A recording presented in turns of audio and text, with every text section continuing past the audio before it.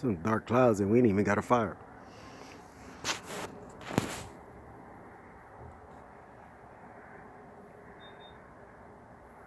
Didn't get to see the sun much today. Been working on the white rabbit. Getting ready for the witness in the desert.